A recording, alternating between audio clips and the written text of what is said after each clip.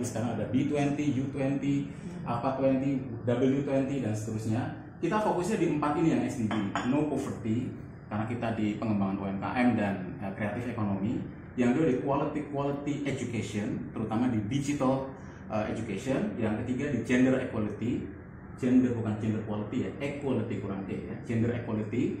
Karena kita pelajaran saya waktu dulu bareng Bu Herlina ini forum TBM itu 80% pengelolanya ibu-ibu luar biasa sekali loh itu Tangsel itu yang waktu kita waktu penjurian Bu Herlina ditanya ini pengelolanya siapa di video tuh ibu-ibu semua gitu kan luar biasa ya ibu-ibu dengan multi fungsi dan multi perannya masih sempat ngurusin TBM gitu. Bapak-bapaknya ke mana? Ke mana? Iya, bapaknya foto-foto aja. Cari duit, cari duit. Dan yang ketiga adalah sustainable uh, city. Dan kita ke kreatif ekonomi. Makanya saya senang sekali lihat ini karena sebenarnya yang kita bina ini yang yang gini juga bu. Makanya baru tahu ada gerai. Kamu udah tahu belum ada gerai ada? Ini, ini salah satu uh, beliau ini bukan karyawan Smartphone ini saya kenalin sekalian. Uh, namanya Mas Rajab baru lulus dari STI Ahmad Dahlan di Ciputat. Masuknya berarti ke ke Ciputat, Ciputat Timur ya. Dia ini pengusaha kopi di STI Ahmad Dahlan, baru lulus. Ya, ini adalah pengusaha muda teladan, dapat banyak penghargaan nas- nasional. Nah, beliau ini bukan karyawan Smart Friend, tetapi ketua Smart Friend Community eh, wilayah Tangerang Selatan. Nah, Smart Friend Community itu apa? Komunitas pelanggan Smart Friend. Jadi kita melakukan kegiatan CSR karena Smart Friend ini terbatas secara orang. Tim saya ada hanya tiga orang. Jadi kita mengandalkan beliau-beliau ini untuk membantu kegiatan CSR kita. Namanya adalah Teman Pintar. Kita program CSR pertama kita namanya Teman Pintar. Teman Pintar itu apa? Program ke sekolah. Ngapain? Bikin workshop konten kreator. Ngajarin anak-anak supaya bisa jadi supaya bisa jadi bisa bikin konten sekarang konten kreator yang yang menjadi ini siapa sekarang? Terus ada Atta Halilintar. Nah, Atta Halilintar misalnya ya. Anak-anak itu sekarang oke misalnya pengen jadi dokter tapi juga pengen jadi konten kreator, pengen jadi insinyur, pengen jadi konten kreator. Bahkan banyak yang bilang gue pengen jadi konten kreator aja, masih muda udah kaya raya. Eh kayak gitu. Youtuber. YouTuber, ya, jadi YouTuber, selebgram, seleb TikTok dan lain sebagainya. Jangan lupa Apa- subscribe. Hmm, jangan lupa subscribe. Hai guys, kayak gitu-gitu. Nah, apakah diajarkan di sekolah? Tidak. Apakah penting? Penting. Mengapa penting? Ya karena mereka ini generasi konten, digital native mereka. Nah, daripada daripada handphone hanya buat ngegame, nonton YouTube, udah itu muter itu aja setiap hari. Kalau mereka nggak sekolah, ya ayo adik-adik ayo bikin konten gitu loh. Nah, SMP SMA ya. SMP SMA. Jadi mereka kita ajari cara bikin konten yang bagus, bikin video editing dan lain sebagainya seperti itu. Itu namanya program teman pintar. Nah, jadi kita melengkapi dari kurikulum yang ada di sekolah. Nah, ini ekstrakurikuler. Nah, kita lombakan mereka. Jadi setiap setiap 10 batch sekolah kita lombakan ada finalnya. Finalnya kita kasih, kasih hadiah mereka juara satu 3 juta, dua 2 juta, dan seterusnya. Sehingga anak-anak itu terpacu untuk bikin konten. Konten. Jadi nanti Bu, kebayang saya nih, anak-anak itu akan saya bawa ke sini. Nih, bikin konten tentang produk ini yang bagus, diviralin, ya kan? Ini produk bagus banget, tapi kalau nggak diviralin nggak ada orang yang tahu. Iya, viral dan Hmm. Viral ya? Ya pastinya mereka nanti akan nyobain dong. Nah gitu. Jadi kebayang saya gitu. Terus mereka kemudian ada potensi wisata di mana gitu ya. Ya udah anak-anak yuk ke daerah tersebut, ke daerah tersebut eh, apa bikin konten tentang daerah wisata ini. Tandem Theater. Atau sesimpel Tandon Theater yang udah buka lagi sekarang. Iya, udah buka Lebih lagi. hijau dari sebelumnya. Iya. tempat covid lagi. Iya, ah, udah tutup bu. Udah di Udah nggak ada lagi. ah, batas-batas gitu. Wisata kuliner. wisata kuliner di mana begitu ya. Jadi potensi daerah mereka. Kita bisa sasar per kecamatan atau per apa gitu. Nah itu namanya teman pintar. Tapi banyak seperti dulu waktu di TBM ya bu ya. Kecil-kecil tapi banyak dan mengisi isi kepala. Nah gitu kira-kira. Itu teman pintar. Yang kedua namanya teman kreasi. Kalau teman pintar tadi ke sekolah teman kreasi ini ini ini ya. Eh, apa ini penjelasannya sebenarnya di sini. Nah, ini ini. Nah teman kreasi teman kreasi ini adalah ya seperti sebenarnya uh, seperti ger- gerai ini tapi dia digital gitu jadi fokusnya kalau teman pintar tadi di sekolah kalau teman kreasi itu ke UMKM. Kenapa? Karena pada saat ya, karena pada saat apa pandemi ini UMKM yang biasa jualan offline nggak bisa jualan offline. Kita bikin program teman kreasi supaya yang biasanya jualan offline jualannya secara online. Bikin market di online gitu, buka uh, Tokopedia, Bukalapak, Shopee dan lain sebagainya dan lain sebagainya.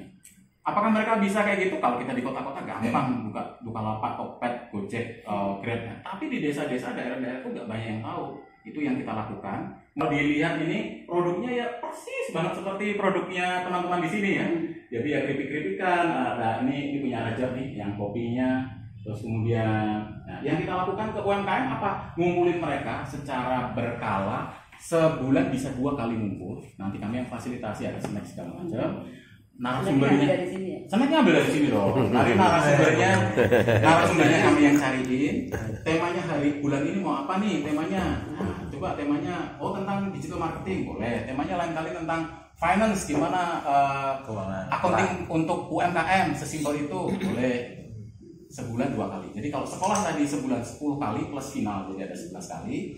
Nah UMKM ini dengan uh, wadah teman kreasi ini bisa dua kali setiap bulan kami Laki-lakinya ke mana? Ke mana aja. Oh ini termasuk Oh, ini. ini. Orangnya termasuk ini. Berarti Keren. uh, dari 148 Satu empat delapan di enam orang lah. Satu empat dua itu perempuan. Perempuan ya. Cara foto ya Pak ya? Cara foto yang mana tadi ini ya Bu, ya? Dagu apa ya? Di Bukit Pelayanan. Bukit Pelayanan bisa lihat jadi ah, jadi Oke. pakai yang Ya, ada pakai mini studio dan sebagainya. Kami keahliannya di situ. Memang kaliannya di situ gitu. kepala. Eh, kepala leher ke atas. Jadi kita awal-awalnya kayak gitu tuh dari mana? Ya, masih plastik gitu. Ya. Nah, yang bawah tuh. Betul, betul. Masih plastik kayak gini, yang belum ada belum ada yang full packaging seperti ini.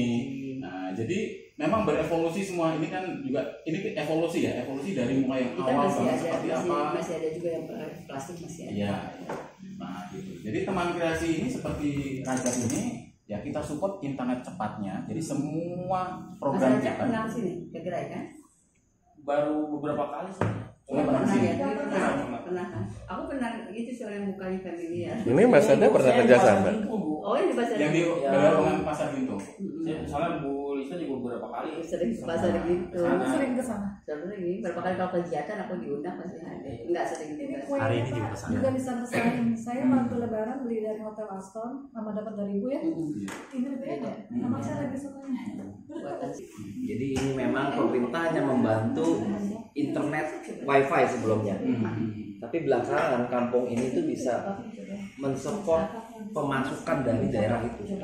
Namanya kampung digital. Itu salah satu customer saya satu dia gitu. Makanya saya kaget begitu dia owner banyak.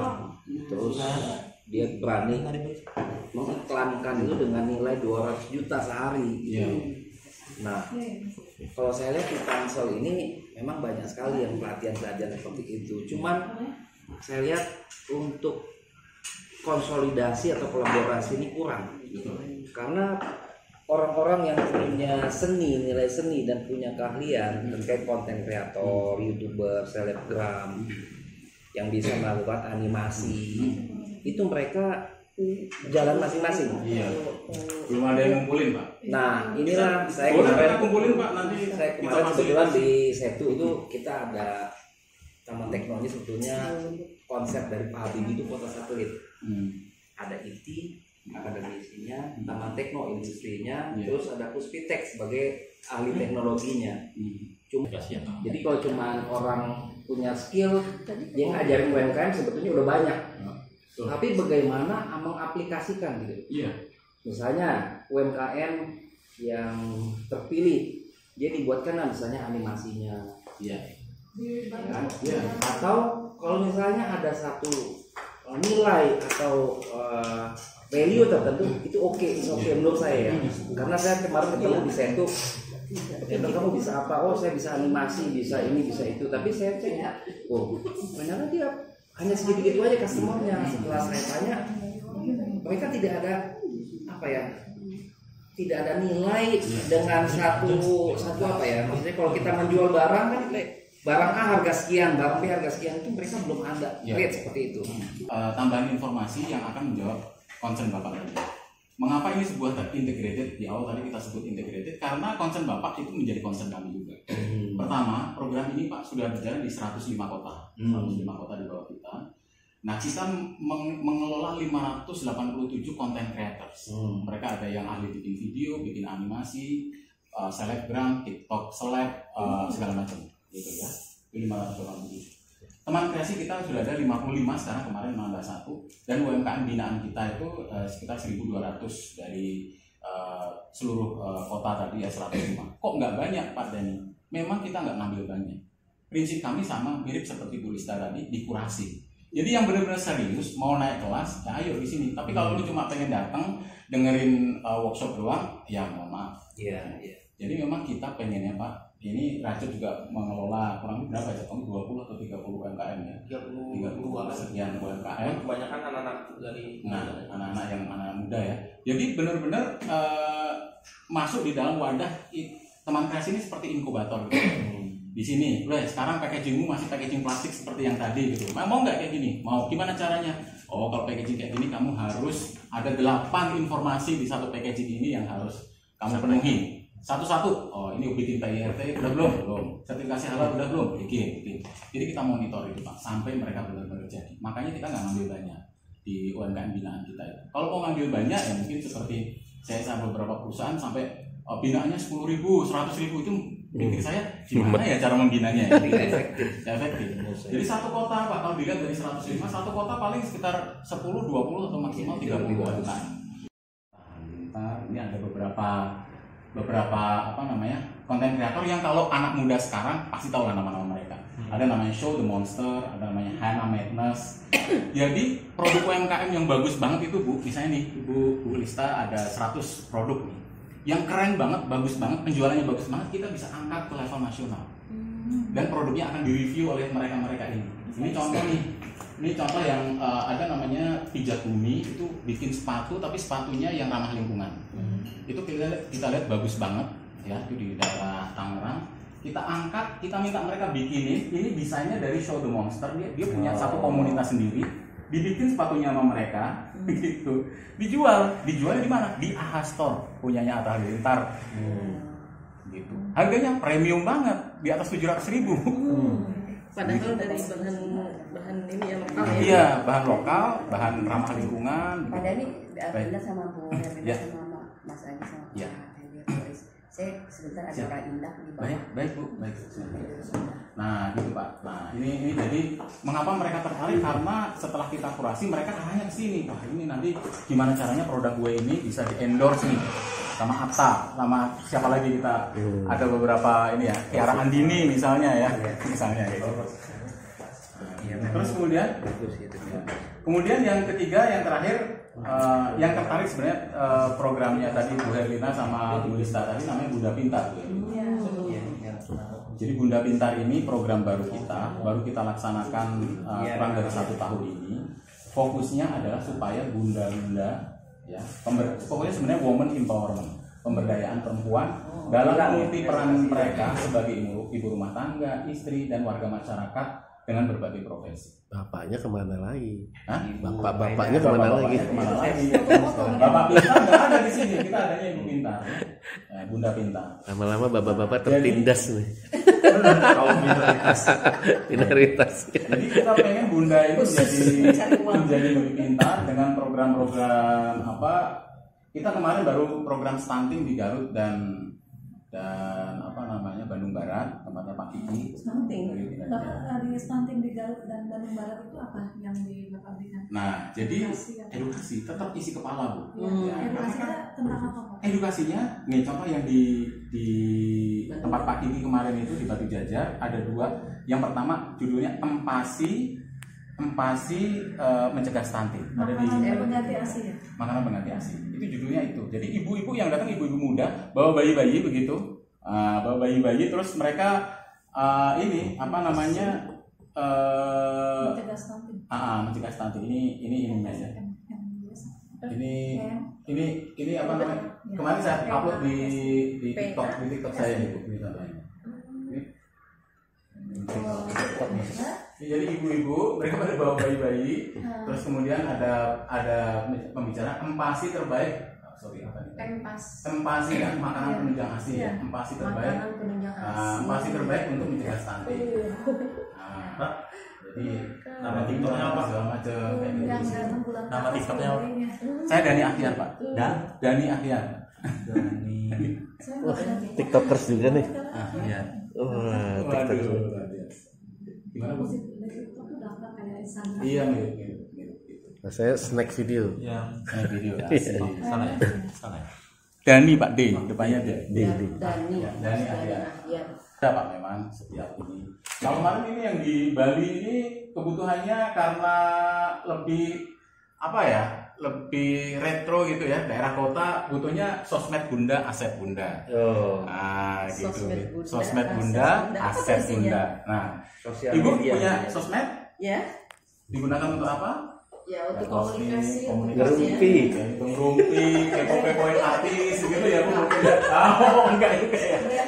Ada lah sedikit ada. Ya, jadi mengubah mengubah mindset sosmed yang kita biasa buat kepo-kepoan doang atau uh, apa narsis upload kegiatan itu jadi aset gitu. Hmm. Yes. Seperti Bu Erlina kan Konten.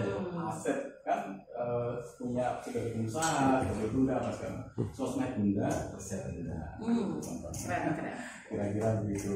Jadi Cupcake, cupcake ya sesimpel itu aja juga kita urusin kok Pak. Ya. Cuma pengen gimana bikin cupcake yang bagus ya udah ngumpul bikin cupcake ya udah yuk gitu.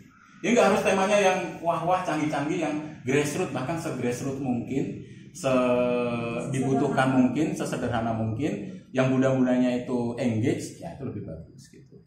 Jadi ini masih muda, baru lulus menjadi social entrepreneur. Usaha kopinya masih struggle tapi progresif. Tetapi sambil dia usaha, dia membantu UMKM di sekitarnya. Itu namanya social entrepreneur. Kenapa ada digitalnya ya sekarang generasi digital.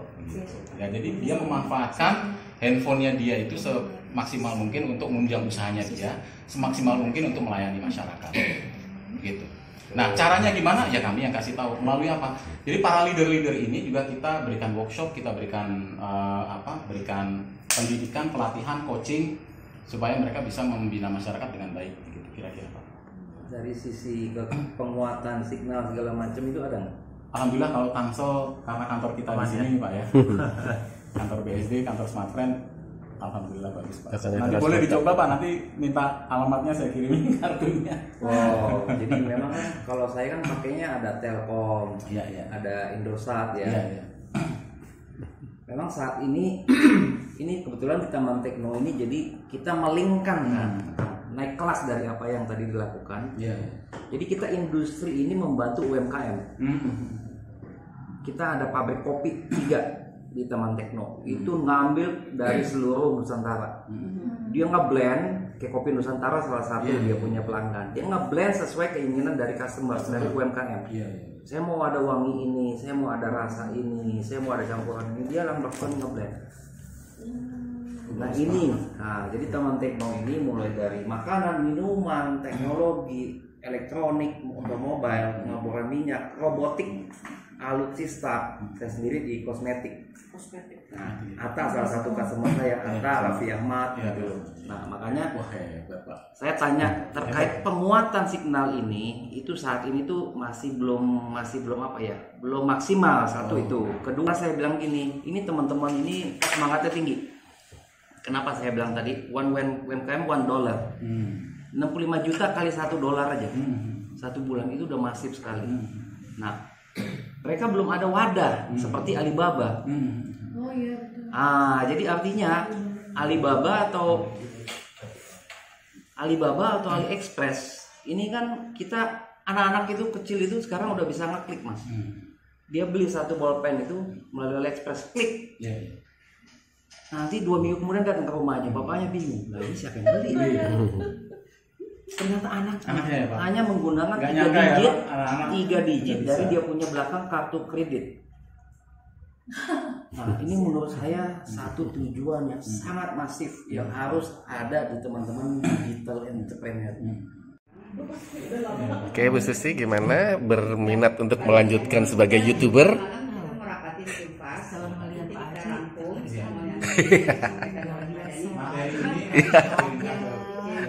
Ya nanti kita sama-sama belajar nih ya Mas Ada. Kita nanti sama-sama belajar ini. Siap, dengan smartphone. Betul. Kebetulan ada Mas Dani yang memang teknologi smartphone-nya dipakai Lokasi untuk di Girlok. Kalau di Tangsel kan Bun. 17 itu buat seluruh Di Girlok ya? Indonesia kan? Enggak, 17 itu Tangsel. Oh, Ya, Tangsel. Iya, sama aja maksudnya yang udah dilaksanakan. Oh, yang sudah dilaksanakan. Bisa, Oh, iya. Mana aja, mana aja, ke mana aja. Iya. Kosong delapan satu. Iya. SMA 2 udah Pak? Belum. SMA 3 udah belum? Belum, belum juga. Itu baru Cuma masalahnya, masalahnya SMA itu kebijakannya provinsi. provinsi. Kita SMP aja kan. SMP aja, kalau kalau di pas kan saya kalau ada kendaraannya apa sih biasanya bisa ngumpul beda lagi Iya. SMK Iya, saya ada SMK, masih. Iya. Ada wangi. Mereka lebih fokuskan ke skill-skill seperti itu. dan mereka perlu Perlu itu. Nah ini Pak Henry dan Bu Susi. Pak Henry ini pengusaha parfum. Jadi parfum jenis apa pun dengan wangi-wangian apa pun Pak Henry ini bisa membuatnya. Susi ini di eh, industri ayam potong.